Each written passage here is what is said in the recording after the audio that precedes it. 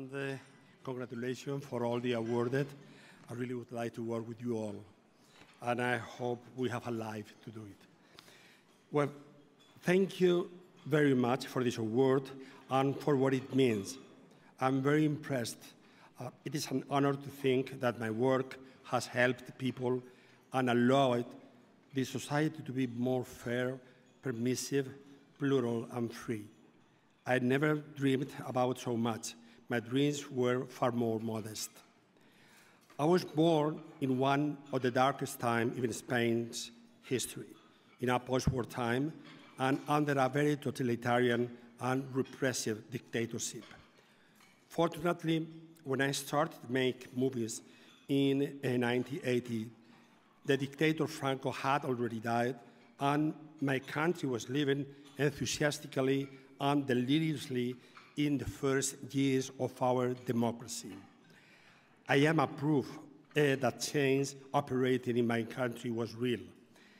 It was an indescribable experience for someone so young to suddenly have so much access to all this freedom, not only to live, but also to create. I was born as a film director in those years. It would have been impossible to so before. One needs to live in a free society, but you also have to choose to work freely. That was my ambition.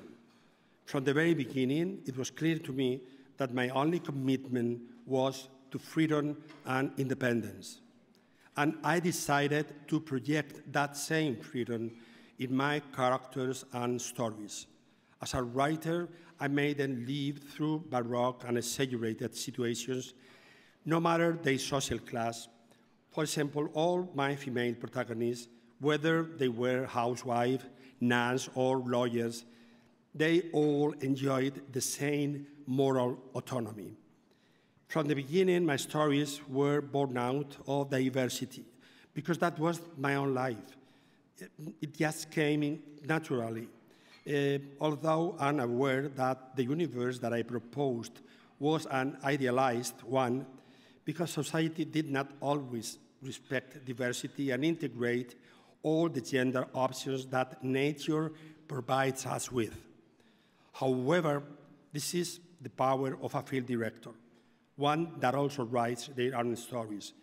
You can impose on everyone your point of view, your mentality, even if it only represents you and the community you live in.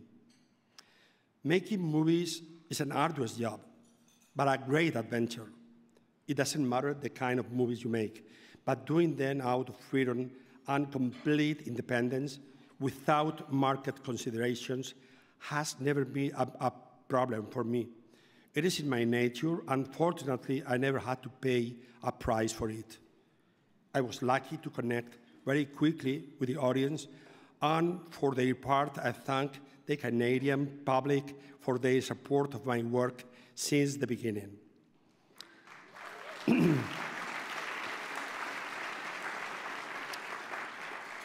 Freedom is individual and sometimes heroic. Just consider Iran. Cinema is the best tool to document one country's social reality, even if it is done through fiction. I would love to share this award that David is holding um, to the Iranian director Ali Ahmadzadeh, whose last movie, Critical Zone, has just won the Pardo d'Oro at the Locarno Film Festival. This director, who cannot leave the country, filmed in a guerrilla style. Unfortunately, there are countries where film directors are imprisoned, where they cannot make the films they want to, and nor can viewers watch movies from other cultures being forbidden by censor. All my work is born out of the absence of censorship both legal and personal. And I would like to dedicate this word to all these colleagues who are suffering from it nowadays, as well as to send them a message to support, of support.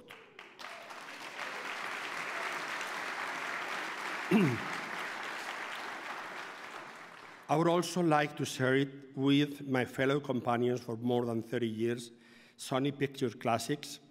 They have been the perfect bridge, so my work could be seen here.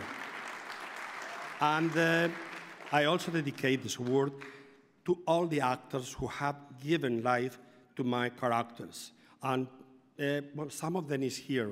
Ethan Hawke. It was the last one. Yes.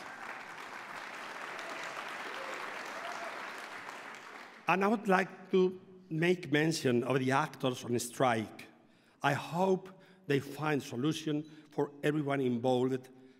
And finally, I want to share this award with the table number 10, where is my brother and part of my artistic family. Thank you, really, thank you so much. Música